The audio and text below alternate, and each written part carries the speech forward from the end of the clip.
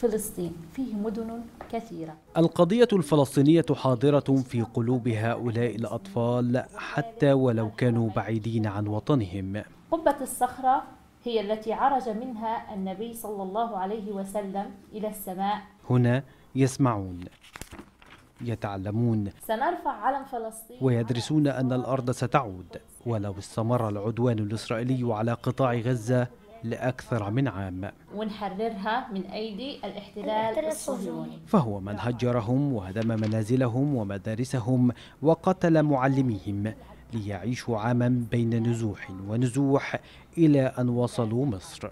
تفضلي يا ندى. ومن بينهم ندى تلك الطفلة التي تتلقى تعليمها هذا العام إلكترونيا في مدارس رام الله. لكنها تحصل دروسها بين جيرانها وزملائها مع إحدى المتطوعات. راح سنة من عمري وأنا ما درست ولا عملت إشي. فهذا الشعور إنه بتحس شعور مؤلم. وإحنا كمان إلنا فترة ما شفنا بابا وإحنا كمان كتير مشتاقين له.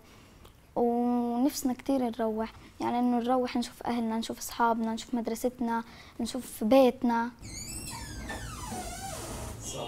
تعيش ندى مع عمها وعائلته بعدما تقطعت السبل بينها وبين أبيها في قطاع غزة. عيد السؤال يا مس لهاني؟ تكمل ما تبقى من دروسها في منزلها ويحاول العم أن يستثمر في تعليمها وأولاده كي لا يفقدوا أكثر مما فقدوه في بلادهم. التعليم هو الأساس وهذا الجيل اللي موجود هو اللي بنعتمد عليه في المستقبل إن شاء الله من أجل تحرير فلسطين وعودة يعني قطاع غزة ودحر الاحتلال إن شاء الله. من غير التعليم لا يمكن إحنا نقدر نحرر وطن يعني. فهو السلاح الأقوى اللي إحنا بدنا نعتمد عليه إن شاء الله في المستقبل يعني. منذ اندلاع الحرب في السابع من أكتوبر الماضي لم يكمل طلاب غزة تعليمهم في القطاع ومن بقي هناك لا يزال على حاله. بينما قرر الأزهر الشريف فتح مدارسه وجامعاته في مصر لتعليم من وصل إليه ومن لم يستطع يكمل دراسته عن بعد. ستظل ندى تحلم بأن تعود إلى وطنها ولو استمر الفراق سنوات. فراق عاشه أجدادها قبل عشرات السنين وها هي اليوم تعيشه وأسرتها بعد عام على الحرب بلا تعليم.